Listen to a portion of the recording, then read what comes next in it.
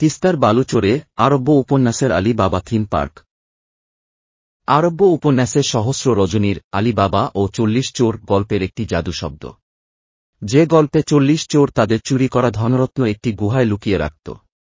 আরব্য রজনীর সেই গল্পটা মানুষ যেভাবে চিন্তা বা কল্পনা করেন, তার উপর ভিত্তি করে গাইবান্ধার সুন্দরগঞ্জে নির্মাণাধীন হয়েছে আলীবাবা থিম পার্ক। যেখানে গেলেই মনে করিয়ে দেবে আরব্য উপন্যাসের আলীবাবার কথা। গাইবান্ধা জেলার সুন্দরগঞ্জ উপজেলা থেকে প্রায় নয় কিলোমিটার দূরে মীরগঞ্জ চৈতন্যবাজার ইমামগঞ্জ বাজার হয়ে সোজা উত্তর দিকে গাইবান্ধা, রংপুর, কুড়িগ্রাম জেলার সম্মেলন স্থানে তিস্তা নদীর তীরে ধুধু বালুচরে ৩৫ একর জমির উপর চমৎকার এক নৈসর্গিক প্রাকৃতিক পরিবেশে নির্মিত হচ্ছে আলী বাবা থিম পার্ক। আরব্য উপন্যাসের সেই জাদু শব্দ চিচিন ফাঁক বলে দরজা খুলে মণিমাণিক্য না মিললেও এই আলী বাবা থিম পার্কের প্রবেশপথেই চোখে পড়বে আল্লাহর নিরানব্বই নাম খচিত নির্মাণাধীন ২০ মিটার উঁচু ভাস্কর্য, দেয়ালে দেয়ালে চোখে পড়বে জাতীয় স্মৃতিসৌধ, জাতীয় মসজিদ বায়তুল মোকাররম, জেরুজালেমের পবিত্র মসজিদ আল আকসা পবিত্র কাবা শরীফ হজরত ফাতেমারা। এর বাড়ি জর্ডানের মরুভূমির সেই সাহাবি গাছসহ খোদাই করা বিভিন্ন ঐতিহাসিক নিদর্শনের চিত্র। দর্শনার্থীদের বসার জন্য রয়েছে সিমেন্ট দিয়ে গাছের আদলে তৈরি বসার চেয়ার, রয়েছে বেঞ্চ। দেশি বিদেশি বিভিন্ন প্রজাতির গাছ লাগিয়ে পরিপাটি করে সাজানো হয়েছে নয়নাভিরাম রাস্তা।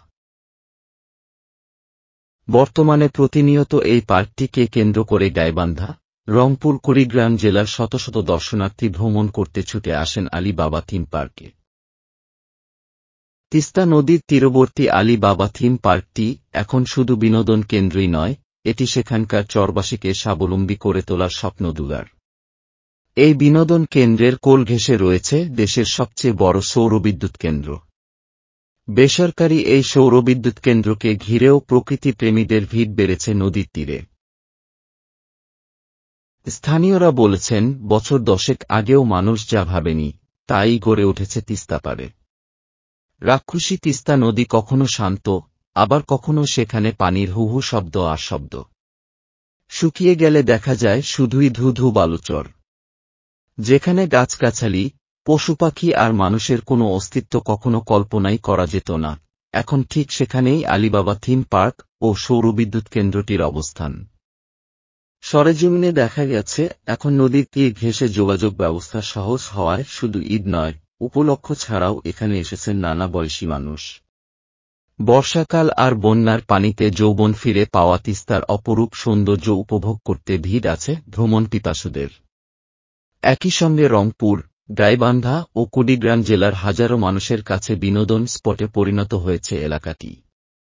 পার্কটি এখানকার হাজার হাজার মানুষের কর্মসংস্থান সৃষ্টি করবে এবং বেকারত্ব ঘোচানোর পাশাপাশি এ অঞ্চলের মানুষের বিনোদনেও ভূমিকা রাখবে।